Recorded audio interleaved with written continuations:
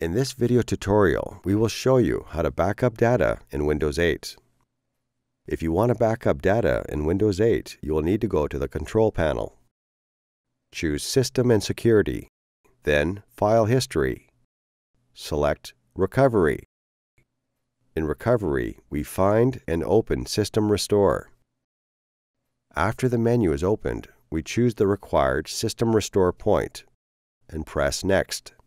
Once you have done it, you will see the notification Once started. System Restore cannot be interrupted. Do you want to continue?